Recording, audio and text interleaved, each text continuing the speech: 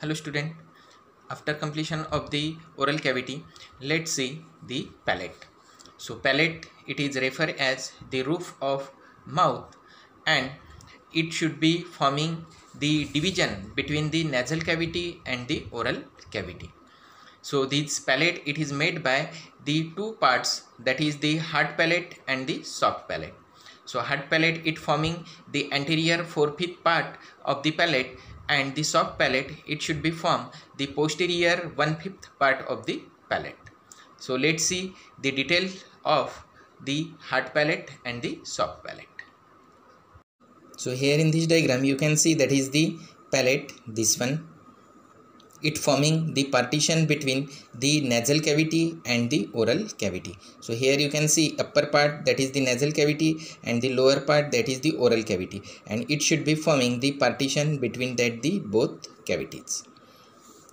Then this palate anterior fourth fifth part it is made by the bones so that is called the bony palate or the hard palate.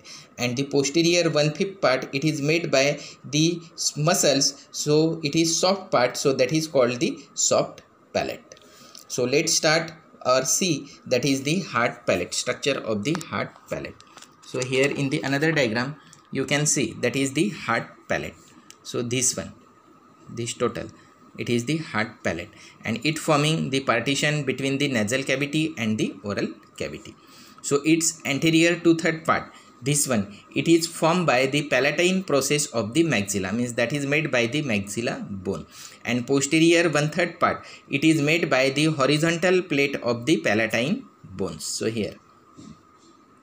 Then the anterolateral margin of the hard palate. It is continuous with that is the alveolar arch. Here you can see that is the arch of the teeth. So called the alveolar arch and the gums of the teeth. Then the posterior margin this one it is attached to that the soft palate. Okay?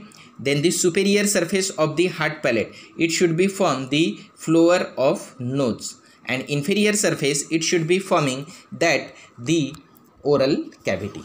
So here in this diagram you can see that is the hard palate. So superiorly it should be forming. That is the base of the or the floor of the nose. And the inferior surface it should be formed. That is the roof of the oral cavity. Then the arterial supply of the hard palate that is the greater palatine branch of maxillary artery. Then the venous drainage that is the pterygoid plexus of vein the nerve supply that is the greater palatine and nasopalatine branches of pterygopalatine ganglion. And the lymphatics that is it is drained by mostly in the upper deep cervical lymph nodes and partly to the retropharyngeal lymph nodes after then we should have to see. That is the soft palate which is very much important soft palate. So it is the movable muscular fold. So here you can see. It is the movable muscular fold suspended from the posterior border of the hard palate. So here you can see that is the hard palate and it the posterior border of the hard palate that is the soft palate it should be start so it separates the nasopharynx from the oropharynx. So here you can see that part it is called the nasopharynx and this part that is called the oropharynx. So because of the presence of the soft palate it divides the nasopharynx to that the oropharynx. Okay? Then it act as a traffic controller at the crossroad between the food and the air passage. So here that is the food passage that should be goes into this region and that is the air passage that should be goes into this region. So it should be forming the traffic controller. That is whenever that is the ingestion of food that should be occur so it is closes this larynx and the trachea and avoid the entry of the food material into that the trachea. And whenever that is the respiration that should be occurs so it should be closes that this esophagus or the oropharynx. So it is act as a traffic controller. Then the external features. The soft palate it should have that is the two surfaces that is the anterior surface this one or that is called the oral surface and the posterior surface this one. And the two borders that is this one the superior border this one and this is the inferior border. So anterior or the oral surface. Firstly let's see. So anterior or the oral surface it is concave you can see. And marked by a median raphe so anteriorly whenever you can see so it should be shows that is the median raphe then the posterior surface this one it is the convex and continuous superiorly with the floor of nasal cavity. So this one that is the floor of nasal cavity. After that the superior border this one. The superior border it is attached to the posterior border of the hard palate. This one that is the hard palate posterior border and this superior border of the soft palate it is continue from this region. And the inferior border this one it is very much free and forming a broad pharyngeal isthmus. So for this we should have to see the another diagram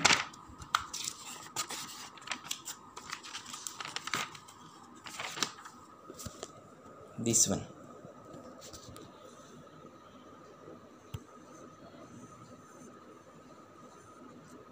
ठीक है?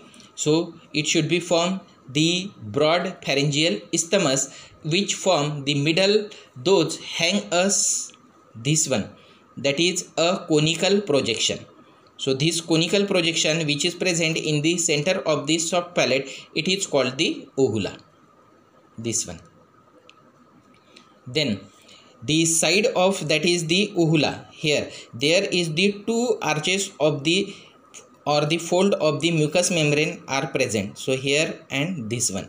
Okay? When which the inner side is present and when which that is the outer side is present. So that is the fold of the mucous membrane which is present on the anterior side. It is called palatoglossal arch. So this one this is the right side and this is the left side palatoglossal arch and the fold of the mucous membrane which is present posterior side it is called the palatopharyngeal arch so this one ठीक है then the palatoglossus arch consists of the palatoglossus muscle and the and the palatopharyngeal arch consists of the palatopharyngeal muscle okay. Then the structure of the soft palate. Okay, so it is made by the by muscles. that is the tensor tympani muscle levator palati muscle the muscularis uvuli muscle palatoglossus muscle and the palatopharyngeus muscle. Okay, then the palatine aponeurosis. So here in this diagram you can see that is the five muscles. That is the tensor tympani this one. Second levator palati this one. Third one the muscularis uvuli fourth one the palatoglossus and the palatopharyngeus this one. ठीक है? Then the palatine aponeurosis. So here that is the palatine aponeurosis which is the flattened tendon of the tensor palati so this one. The tensor palati muscle. So it is the flattened tendon of the tensor palati muscle forming a fibrous basis of palate. Near the median plane it forming the aponeurosis and split to enclose a muscularis uvula. So for this here in this diagram you can see. That is the tensor palatini muscle this one. On both side it should be forming the broad aponeurosis in the central side and forming that the fold. So this fold it is called the muscularis uvuli this one the levator palati and the palatopharyngeus lie on superior surface of the palatine aponeurosis. and the palatoglossus it lies on the inferior surface of the palatine aponeurosis. So in this way that is the five muscles they should be arranged into that the soft palate. The numerous mucous gland and some taste buds they are also present into that this around that the palatine aponeurosis. Okay. Then the passavant ridge. So what is called the passavant ridge? So for this again we should have to see the another diagram. So here in this diagram you can see that is the passavant ridge. This one this is the soft palate and this is the passavant ridge so what is the passavant ridge? So some upper fibers of the palatopharyngeus muscle. It passes circularly deep to the mucous membrane of the pharynx. So here that is the mucous membrane of the pharynx and in this that is the fibers of the palatoglossus that should be interlocked. To forming a sphincter internal to the superior constrictor muscle. And this fiber constitute a passavant ridge which help in the contraction and occurs the elevation in this way on the posterior wall of the nasopharynx.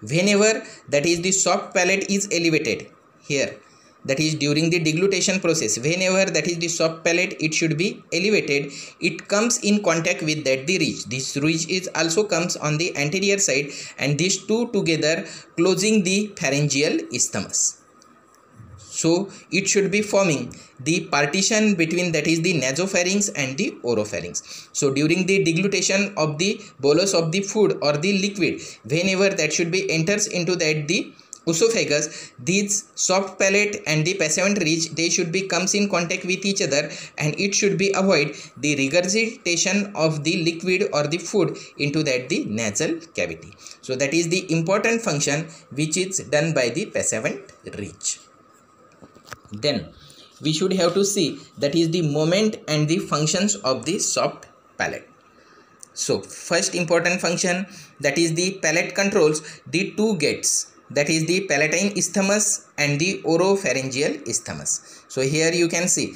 that is the pharyngeal isthmus and this is the oropharyngeal isthmus. So it can be controlled that is the two gates by closing to this region. So it completely close regulate the size according to requirement. Through this movement, it controls the chewing, swallowing, speeching, coughing and the sneezing. Okay. Then second function that is it isolates the mouth from the oropharynx during the chewing so breathing cannot be affected. Okay. Then the next important function that is it separate the oropharynx from the nasopharynx. So this is the nasopharynx and this is the oropharynx. By locking the passavant ridge so here this is the passavant ridge and here that is the soft palate so because of the locking of that is the two structure due to in stage of the swallowing and that food does not enter into that the nose so that is the important function. Then next function by varying the degree of the closure of the pharyngeal isthmus that help for the quality of voice. Okay? And last function that is the during the sneezing the blast of air is approximately divided and directed through the nasal and the oral cavity. Without damaging the oral cavity or the nasal cavity. Similarly it should be also controls the passing of the sputum into the mouth and avoid the passing of the sputum into the nose during the coughing. So that is also the important function which is done by the soft palate then the blood supply of the soft palate that is the greater palatine branch of maxillary artery the palatine branch of facial artery and the palatine branch of ascending pharyngeal artery. Then the venous drainage that is the pterygoid and the tonsillar plexus of veins. And the lymphatics it drain into the upper deep cervical lymph nodes and retropharyngeal lymph nodes. And after then that is the nerve supply of the soft palate so soft palate it is supplied by the sensory and the motor nerve so the motor nerve it is supplied by all muscles of the soft palate it should be supplied by the so all the muscles of the soft palate except that is the tensor palatini this is the tensor palatini that is supplied by the pharyngeal plexus. And the pharyngeal plexus it is the part of the accessory nerve. And the tensor palatini this muscle that is supplied by the mandibular nerve. And the sensory nerve supply that is the lesser palatine nerve and the glossopharyngeal nerve okay. After then we should have to see that is the clinical application or the clinical anatomy applied anatomy. So first clinical point that is the paralysis of the soft palate. So here in this diagram you can see that is the paralysis of the soft palate. So here that is the soft palate or the uvula it should be turned on the paralyzed side so paralysis when the lesion of the vagus nerve that should be occurs. That is the paralysis of the soft palate is produced. So it should be occurs the deviation of the uvula on the opposite to the side of the lesion. So if the lesion should be occurs in this side the uvula turn on the opposite side. Again it should that is the clinical uh, mm, uh, symptoms that is the nasal regurgitation of the liquid then the nasal twang into the voice and flattening of the palatine arch. Okay so these are the clinical point. Then the next clinical point that is the cleft palate. So here you can see that is the cleft palate. That means the non-fusion of the right and left halves of the embryonic palate into the different degrees. So these are the formation of the hard palate in the embryonic life and if two sides both right and the left side here you can see that is the right and the left side cannot be joined with each other so it should be forming the gap and this gap it is called the cleft palate. Okay? Then the perforation of the hard palate may be caused in the tertiary syphilis so tertiary syphilis that is the sexually transmitted disease. And because of that is the degenerative changes that should be occurs into that the hard palate. And because of this that is it should be forming the perforation here in this hard palate. Then the last clinical point related to that the soft palate that is the epignathus epignathus it is the teratoma a type of the cancer or the tumor arising especially from the palate. Okay? So these are the clinical points related with that the palate